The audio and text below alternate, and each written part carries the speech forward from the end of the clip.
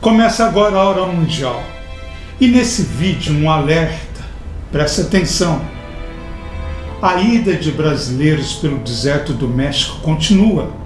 Não é coisa dos anos 90, nada disso.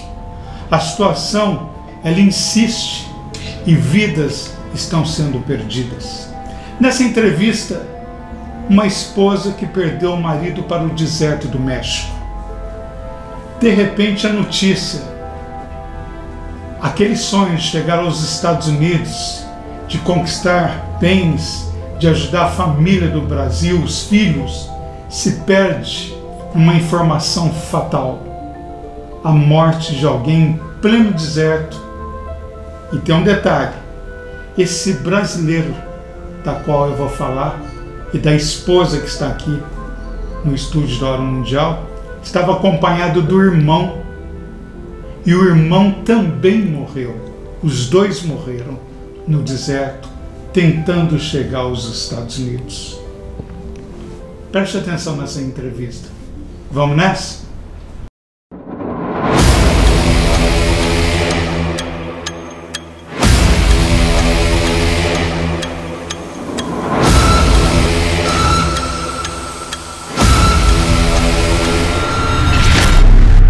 E eu recebo aqui na Hora Mundial uma brasileira que é uma guerreira. Ela perdeu o marido, perdeu o cunhado e ficou com a responsabilidade de duas filhas. Eles morreram no deserto do México. Isso em 2004. Uma tragédia que até hoje traz consequências. Eu me refiro a Terezinha de Lima, que está aqui, vai falar com a gente. Terezinha, quando seu esposo, Carlinhos, assim que ele é conhecido, ele decidiu ir para os Estados Unidos, como é que foi? Você apoiou? Foi uma coisa que você resistiu? Como é que foi aquele momento que ele chegou para você enquanto esposa e disse: Estou indo para os Estados Unidos, mas vou pelo deserto do México? Eu não queria. Mas só que eles não aceitam. A gente, o povo vai pondo tanta coisa na cabeça deles que lá vai ficar rico, que lá ganha muito dinheiro. E a gente não pode segurar. E eu não pude segurar ele, mas ele foi. E essa decisão de ir, a senhora acha que ele foi influenciado pro, vamos dizer, o coiote que levou? Como é que foi essa. Quem estava por trás disso? É os coiotes, aqui de Poço mesmo não conhecia eles, mas esse foi. E aí, por exemplo, é, foi, foi seu esposo, qual que é o nome todo dele? É Sebastião Carlos de Lima, conhecido por Carlinho. Então foi ele e o irmão, qual o nome do irmão? É o Marcílio Castro de Lima. E eles tinham quantos anos quando eles O meu marido tinha 49. E o... o Carlinho. E o Marcílio tinha acho que é 35. Então, por exemplo, quando, quando, e como foi esse momento? Ele chegou para você na hora da despedida, mesmo você resistindo, ele falou alguma palavra de conforto para você, alguma promessa de quem vai, com a certeza que vai conseguir chegar onde precisa? Ai, a certeza dele era, né? Porque é o destino dele.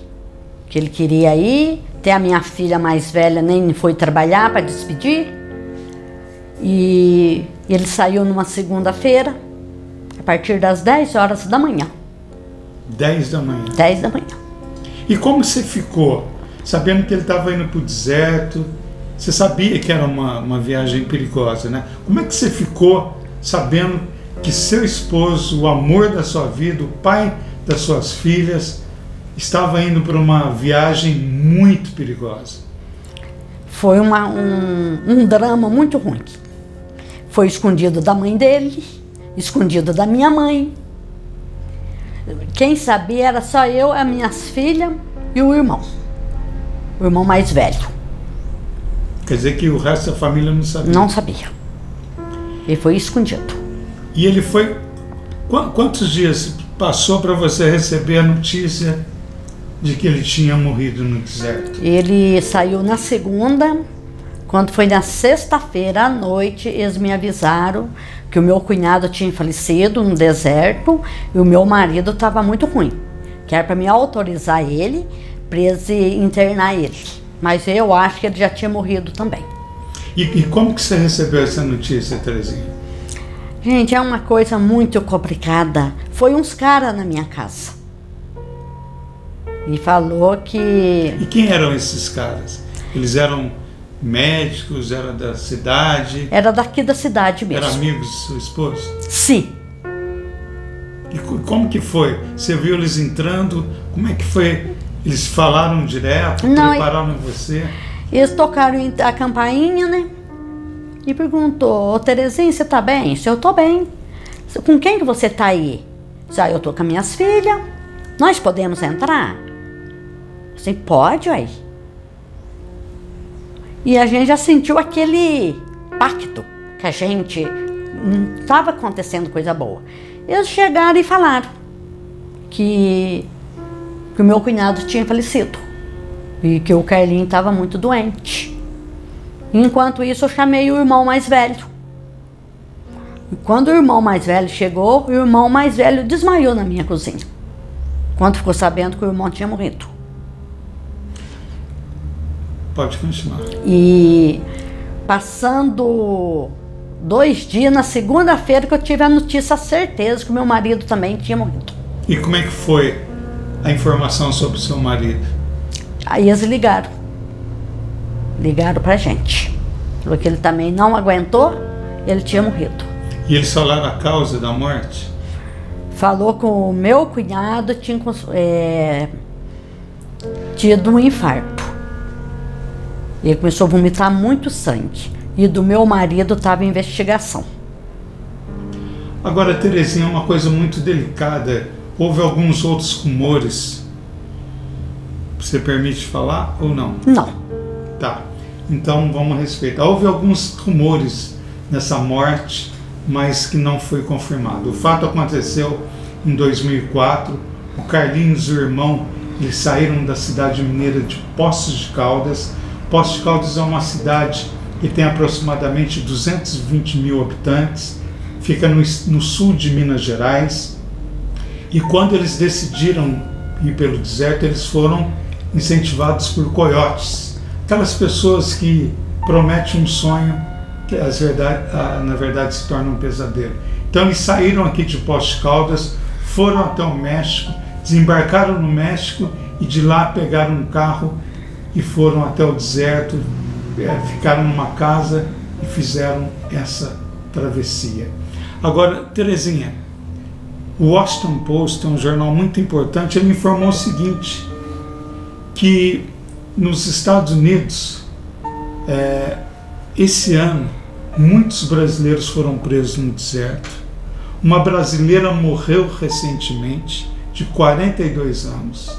Ela morreu de fome e de sede no deserto, sozinha, porque ela foi deixada para trás pelos coiotes. Quando você ouve uma notícia dessa, você que passou, você que viveu esse problema que você já é viúva, você é órfão, é uma mulher órfã do deserto do México, como é, que, que você sente quando você ouve uma Muito uma triste.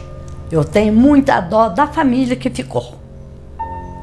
Que a gente passou, a gente não deseja para ninguém.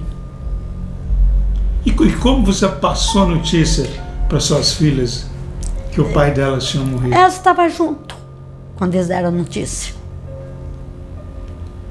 Foi muito sofrimento. Agora, Terezinha, todo mundo tem um motivo para deixar o país.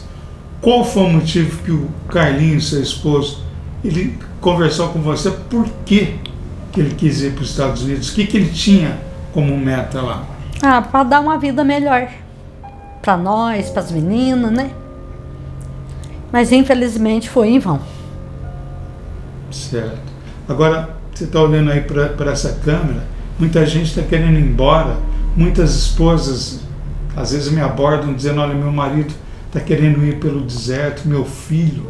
O que, que você tem para dizer para essas mulheres que podem também vir a ficar órfãs? Isso não é que a gente deseja, mas a fatalidade é inevitável. O que, que você tem para dizer para essas mulheres? E o que eu tenho que desejar para elas, gente, é um caminho sem volta. como aconteceu comigo, pode acontecer com elas também. Eu não espero que ninguém passe o que, que eu passei. É muito triste.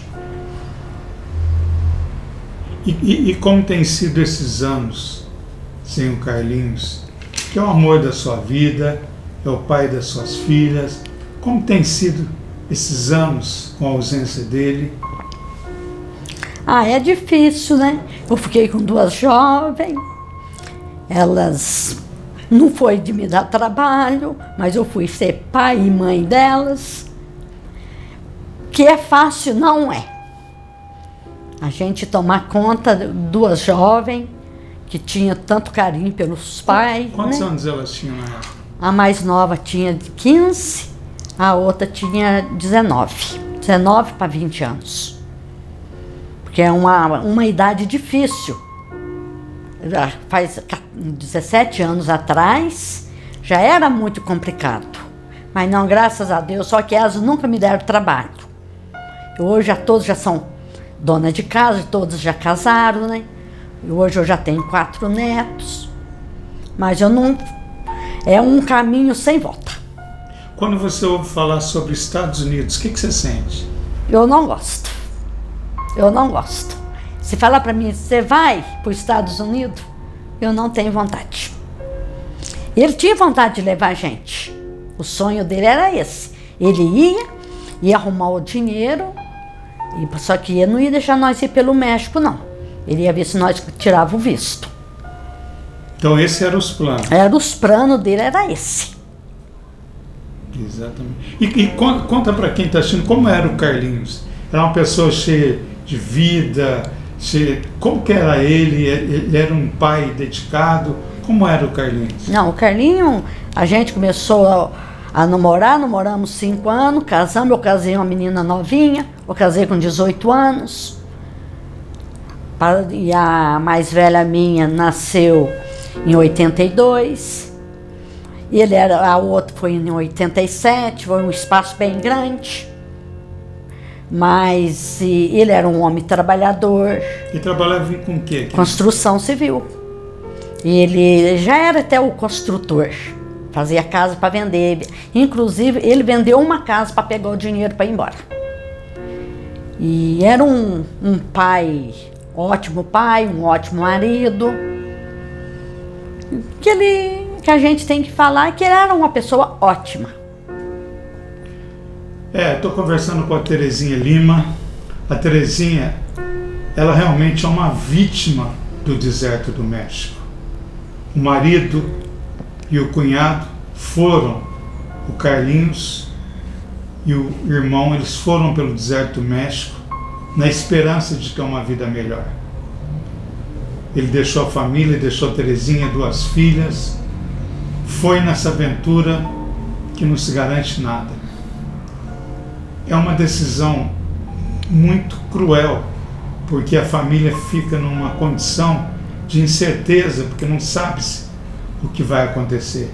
Muitas pessoas morrem no deserto, muitos casos alarmantes até hoje estão aí para dizer o quanto que é um caminho que não se deve fazer. Agora, Terezinha, olhando nesse momento essa entrevista para esses chamados coiotes que continuam aliciando pessoas, continuam prometendo a elas um sonho que na realidade é uma bolha de sabão que você pode espetar e desaparecer e pode ter consequência de vida, como aconteceu com seu esposo. O que, você tem a dizer para eles?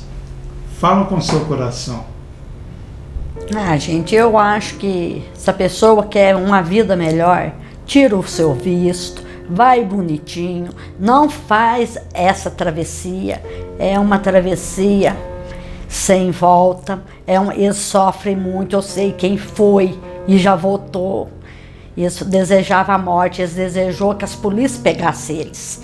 Tem vários conhecidos meus que aconteceu isso que eles passavam fome, eles passavam frio. É, gente, é o inferno esse deserto. E os coiotes? O que, que você diria para eles? Para o coiote, esse que leva as pessoas pega o dinheiro e continua essa trajetória da morte. Eu vou ser sincera, eles são um sem vergonha, malandro, ladrão. Eles não prestam. Como aconteceu comigo, eles deu toda a certeza que eles passavam. É um, uma cambada de sem vergonha. E eles devolveram o dinheiro? Não. Coisa? Só que o nosso dinheiro não tinha pagado ainda, né? Mas o meu marido levou 600 reais, não, 600 dólares escondido por dentro da roupa. O nosso dinheiro estava guardado com meu sobrinho nos Estados Unidos. A minha sorte foi essa, que ele foi devolvendo devagarinho para mim, porque lá não pode mostrar o dinheiro, que eu terminei a minha casa. Aí esses coiotes é uma turma de vagabundo. E tem que ter cuidado, né? É para ter cuidado mesmo. Se um dia, se um meus netos quiser ir, eles não vão. E eu não deixo, que eles falam demais do vô. Que tadinho do vô. Por que, que o vô foi embora, vó? Então é, uma, é um caminho sem volta mesmo. Eu não desejo para ninguém. Os coiotes são uma turma de vagabundo e sem vergonha. É, é o desabafo de uma mãe, esposa, que perdeu para o deserto do, do México o pai das suas filhas. Uma pessoa que realmente que era, na verdade, era que defendia a casa, né? era a voz da casa. O homem tomava conta da família e como a Terezinha colocou, ela passou a ser a mãe de gravata. Teve que assumir as filhas. Agora, Terezinha, tantos anos se passaram, ainda existe ressentimento. Quando você lembra no Carlinhos, quando chega Natal, essas datas, como é que é? Você conversa com ele espiritualmente? Como é que é para você nesses anos todos, nesse, nesse tantas coisas que aconteceram? Ah, gente, é uma falta, né? Que faz na família, né? Ele era muito brincalhão, juntava tudo na mãe dele. Era aquela festa. E hoje, gente, hoje a minha sogra já faleceu também. O irmão mais velho faleceu de câncer, de tanto sofrer com os dois irmãos aqui no deserto. Quer dizer que o irmão Quer dizer, a morte dos dois trouxe consequências então para o irmão mais velho? Trouxe, ele morreu de câncer por causa de tanto sofrimento, porque ele sabia, ele sabia mais coisa que eu não sei. Ele não quis me contar. E hoje, gente, a família desuniu tudo. Hoje não tem mais essas festas. É completamente diferente. A minha sogra sofreu muito, muito, muito, que é a mãe deles, né? Gente, vocês não acreditam nos coiotes. É toda uma turma de mentirosos e sem vergonha. É, para você ver, você que acompanha a Hora Mundial, é um relato de uma mãe, de uma esposa que perdeu o marido e o cunhado nesse deserto que é tão controverso, que promete um sonho, mas entrega o pesadelo, que promete um mundo mas entrega o ente querido num caixão. É duro dizer isso, é pesado, mas essa é a realidade. Quantas famílias receberam seus entes queridos num caixão ou numa urna que eles foram cremados? Essa é a realidade, o Brasil precisa acordar, as autoridades precisam acordar quanto a isso, né? alertar a população cada vez mais. E você que está acompanhando essa entrevista, cuidado com seu filho, cuidado com seu neto, cuidado com essas propostas mirabolantes de um mundo melhor nos Estados Unidos, quando na verdade eles estão empurrando essas pessoas para o abismo.